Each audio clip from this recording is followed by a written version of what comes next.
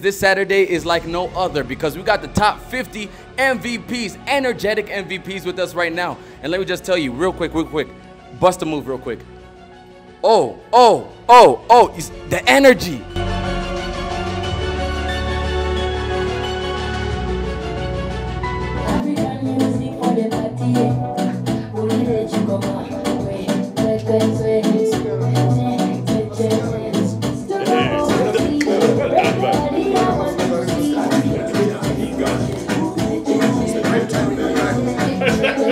Um, I loved your energy at the beginning. I loved it I, if, from, from, from a dancing point of view. As soon as he started the music, you got up and you started to dance around. I thought it was very good. So thank you for that. Well done for understanding what is needed at this radio station. So well done. Don't sound like somebody else. Be yourself. That's why we employ radio presenters to be themselves and to have that personality and to and, and to bring that that real personality inside of you out.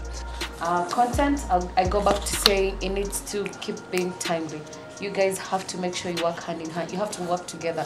A content person and a social media person, you have to work together. Energy rave, and uh, it was fire, man. I Yeah. mean, like, what, what was up in there, man? My DJ, Mr. Carls, was giving it, and uh, my girl right there, Marianne, and Miss MK, she was giving it, and I was giving it, and then, you know, well, every time you had to have somebody else to tell you what you did. Yeah. And you're always filling up, and you're on your high hopes, and somebody tell you, oh man, you know what you did right there, Mm. one felt real good, and I'm like, okay, man, what that supposed to mean? Like, you know, like, yo, like.